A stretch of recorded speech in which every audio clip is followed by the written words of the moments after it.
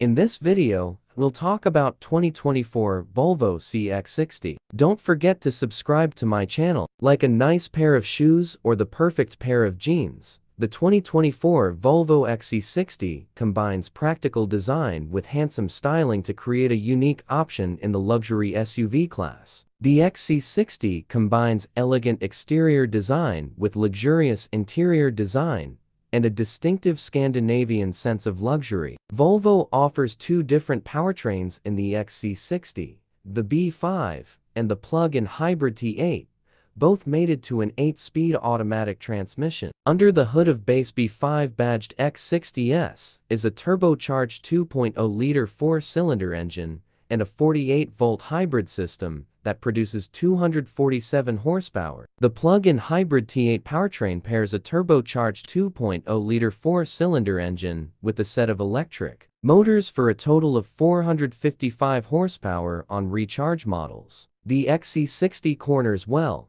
feels gripped when cruising and changes direction confidently, but it doesn't inspire hooliganism like the Porsche Macan. The ride can feel a little harsh when driving on rougher sections of road, but it's nice and composed on smooth sections. We recommend upgrading to the mid-range plus trim with the B5 powertrain. With all sorts of features becoming standard, the extra cost over the base core hardware is worth it. The Plus trim package comes with nicer wheels, leather upholstery, a 360-degree camera system, and front and rear parking sensors using the Recharge or Polestar model, standardizes the T8 plug-in hybrid powertrain, which carries an estimated electric-only driving range of 32 miles. The XC60 T8 can be charged at a public charging station or at home via 110 or 220 volt outlets, but Volvo also offers a handy feature that can charge the battery with energy generated from the SUV's gasoline engine when needed.